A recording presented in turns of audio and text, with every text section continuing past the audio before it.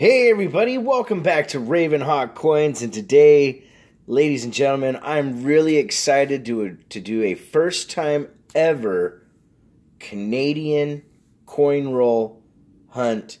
And this is made possible by Canadian Ryan. He hooked up everything from books to an entire box of nickels from Canada as well as a Canadian nickel coin mat from my brother Rob Finds Treasure. Um, Canadian Ryan told me that these were customer wrapped, I believed, uh, and we're going to get this open in just a minute.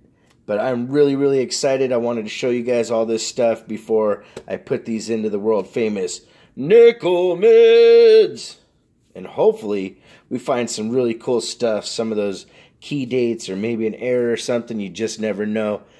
We'll be back soon. Raven Ravenhawk Coins, stay tuned.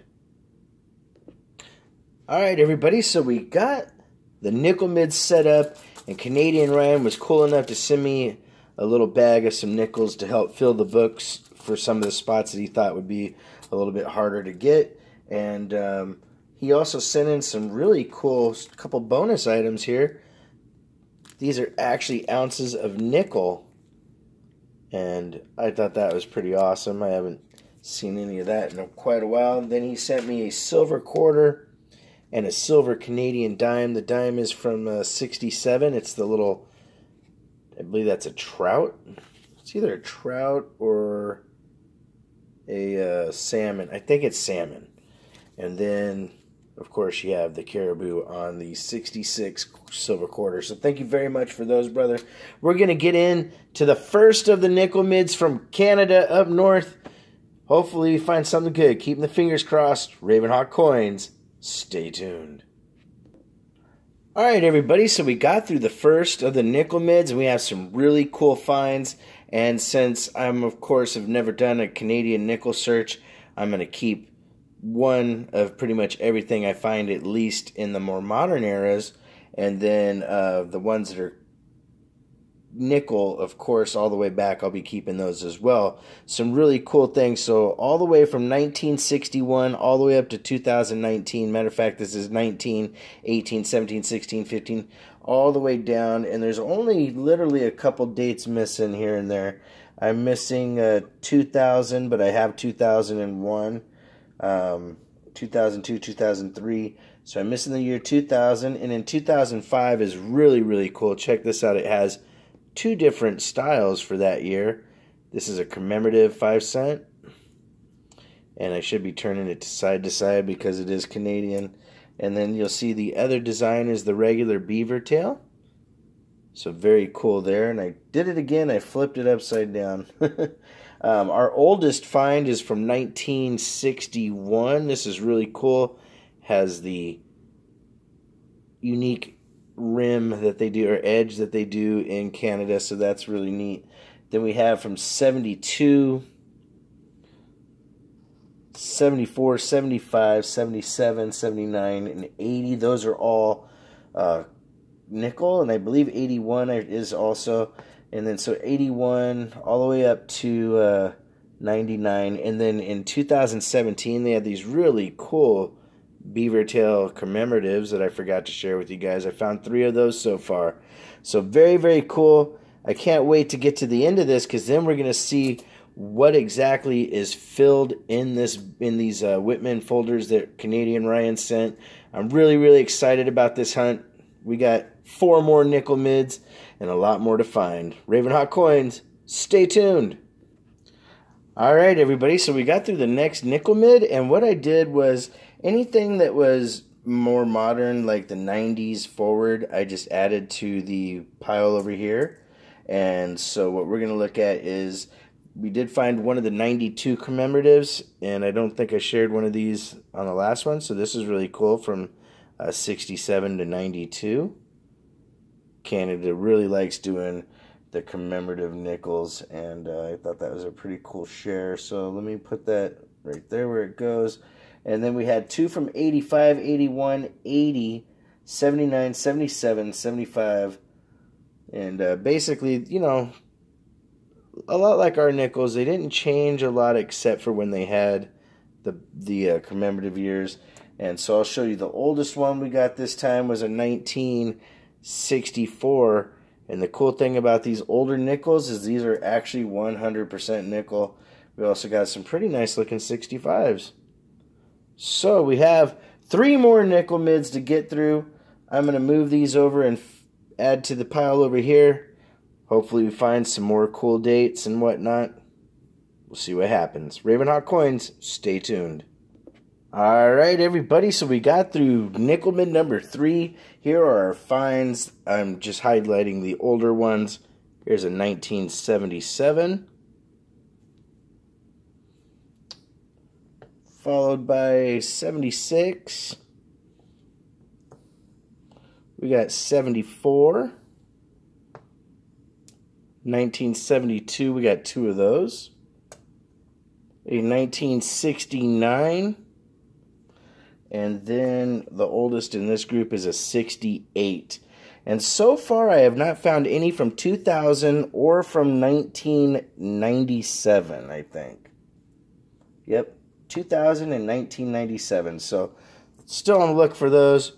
We got two more nickel mids to get through. Keeping those fingers crossed. Ravenhawk Coins, stay tuned. All right, so we got through the next nickel mid, and we have some really cool finds, especially this one right here. Look at this, guys. It's offset by quite a bit. Check it out. To the south there. Look at the bottom, how thick that is. Very, very cool, and almost nothing at the top. So that's a really cool find. Then I found a couple from 1978. 77, 76. I really like the character on this 75, the patina that is. Couple 74s. A 1971, and then the ever famous, and I was really happy to find this, the hare nickel, guys. Check that out. Very, very cool. 1967. 1964. And then another one with the cool pattern. The early, early 60s and 50s have this type of rim to it. So very cool. So I'm going to put these in the mix here. We got one more nickel mid to get through. Never know what we'll find, but that's a lot to, to figure out what we're going to put in these books. Ravenhawk Coins, stay tuned. Alright, everybody, so we're through the last of the nickel mids, and the one thing that I noticed really obvious is Canadian money, at least this box, a lot cleaner than the American nickels that I, or the United States currency that I look at. And then we did find about a dollar in nickels and a dime to go with everything, but let's look at the last finds here from 1978. This one's in pretty nice condition, actually. And then I'm just going to show the beaver side. 77. We got four 76ers. Couple from 74. 72. 1968. And the oldest for that group, 1964. And it looks a little tiny bit off stricken, but, but not much. But that, my friends, is a really cool hunt. Everything from 1960 all the way up to 2019. I didn't find a two year 2000, and I didn't find, I think there's one other year that's missing. Um, and it's eluding me right off the top of my head. I think it was a 1997. Yes, 97 and 2000, I think, are the only nickels I didn't find for that entire run. And then for the uh, 80s and 90s, we have everything 87, 86, 85, 84, 83. Oh, no 1982s. Got a bunch of 80s, 79, all the way down to 66 is what we're missing. Then we have 65, 64, 61, and 60. And that is really, really cool. Either way, a lot, a lot of fun. And so what I'm going to do is see what we have to get into these two books here. But this video has gotten to be really, really long. So what I'm probably going to do is make that into a second video. But then again, I feel like I'm kind of shorting you guys. So you know what? Hold on just a second. I'm going to see how many spots we can fill. Raven Ravenhawk Coins, stay tuned. All right, everybody. So I got through what he gave me in bonus nickels, and it's really cool. A lot of very low mintage dates, starting from 1922 to 23, 24, 27, 28, 29, 30, 31, 32, 33, 34, and 35 and 36. Then it skips the 40s and the 50s, and I got a couple in the 60s from the coin hunt today.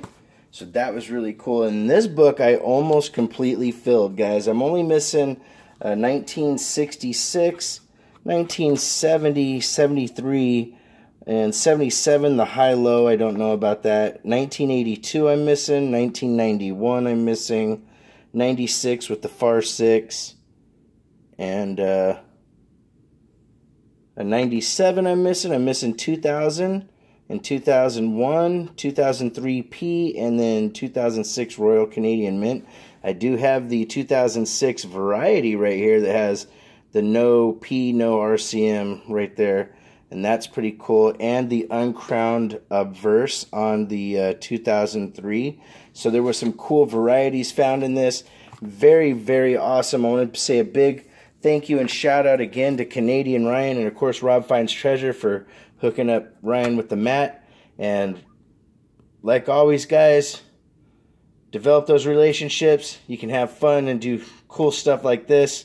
I'm really, really, really happy with this, guys. That is awesome to fill that many spots looking through one one box and then of course the bonus coins he gave me.